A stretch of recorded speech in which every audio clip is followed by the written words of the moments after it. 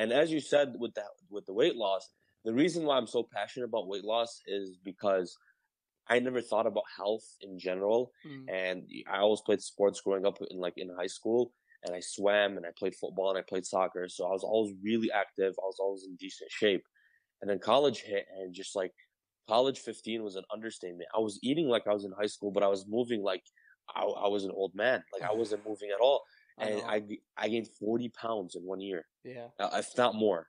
And I went about like I started learning about health and everything and calorie deficit. And when I was losing weight, I was eating good food. I just knew that you know you have to watch certain um you know calories like Sure. fats, for sure. example. Like if I want to eat a fettuccine fettuccine alfredo, I'll eat I'll eat a lot of carbs, but I'll go light on the sauce. I'll go light on the cheese, or I'll do a low calorie uh you know cheese and and then infuse it with a lot of spices just so that it's still flavorful. For Sure. example, and eat a bunch of